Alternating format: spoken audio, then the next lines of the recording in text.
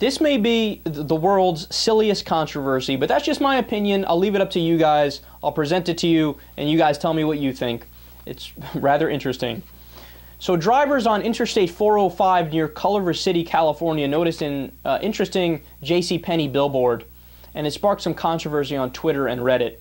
Now, I know you guys listening on the radio can't uh, see this, but later, if I put this on YouTube, uh, you'll be able to take a look at uh, what I'm talking about in terms of the picture here. So, the billboard from J.C. Penney is uh, a kettle. There's a kettle there. There's some writing on uh, next to it. I don't think you could see the writing next to it in the picture because you just see the kettle. Now, uh, let me show you it. What do you think the kettle looks like? A lot of people are saying the kettle looks like Adolf Hitler. Now, that sounds absurd and that sounds ridiculous, right? Especially if you're listening on the radio and you can't see the picture. Like, how can a kettle look like Adolf Hitler?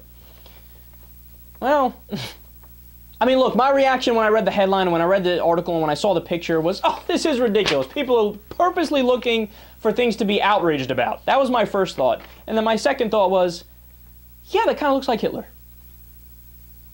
So uh, here's the thing. They did a poll on this on uh, Huffington Post.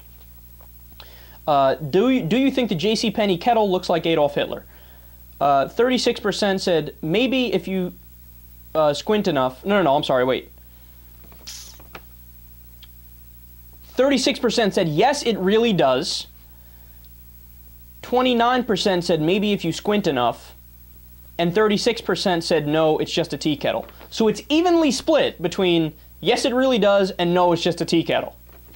My ruling on this is they're both right. Should they take the billboard down? No, absolutely not. That's ridiculous. Should they apologize? No, absolutely not. That's ridiculous. Did they mean to put up a billboard with a kettle that looked like Hitler? I don't think they did. I think it was an honest mistake. I mean, our minds have a way of playing tricks on us to make things look like something different, right? But in this case, does it look like Hitler? Oh, it absolutely, it, it definitely does.